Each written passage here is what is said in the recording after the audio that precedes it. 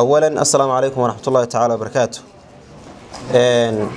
aada iyo aad baan dhammaantii idin salaamayaa waana idinku soo dhaweynayaa runtii kuliyaddan aada doorateen kolley caawa waxaa meesha yaallaa waa soo dhoweyn iyo inaanu u mahadnaqno haddii aanu qoladaydii hore nahay macallimiinta ugu horeeyo dhiinku runtii waxaad doorateen kuliyad annaga nooga duwan kuliyadaha kale oo arrimihii bulshada ah kuliyadda waxaanu ku naqaanaa in ay joogaan rag runtii dhallinyaro ah aqoon idinku filan oo waayo aragnimadeeda iyo khibraddeeda iyo tayadeeda iyo dhisnaanteeda lehna wata ay idiin soo gudbin doonaan insha allah aqoontooda.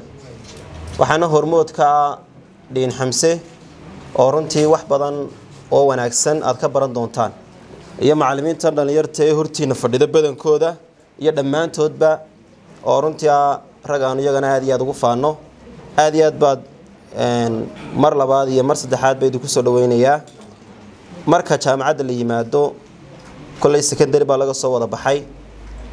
Secondarigu wuxuu ahaa meel ardayga khasab wax lagu baro waa lagu daba joogayey waa lagaa daba shaqaynayey.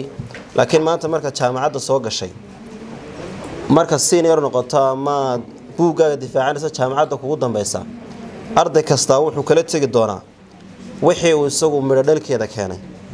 Macnaa qofna wuxuu noqon doonaa qof ay isaga ka go-an tahay dadaalka iyo juhdiga wakhtiga u geliyey qofna wuxuu noqon doonaa qof sidii brimarigii secondarigi weli loo daba socdo. Laakiin marka jaamacad soo gaadho waa inaad ogaataa inay ku saaran tahay mas'uuliyad ka duwan mas'uuliyaddii hore. Waa inaad ogaataa inaad qaadanayso aqoon ka duwan aqoontaadii hore. Waxaa laga baya markaa dadaal iyo tacab kaloo dheeraada inaad la timaadaan dhammaantiin. Maanta bilow baad tihidiin laakiin berri toole insha allah haddii eebba inagu simo waad kala sarrayn doontaan oo kala duwanaan doontaan.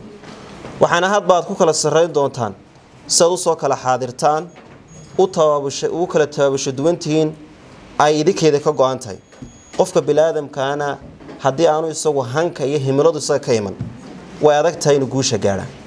Dhammaanteen wakhti fara badan waa in la soo geliyey midhihii maanta halkii lagu goosan lahaa bayn taagannahay waxaan idiin rajaynaya inaad noqotaan kuwa wakhtigooda iyo mustaqbalkooda iyo maalmaha soo socda intaba ka faa'iidaysta.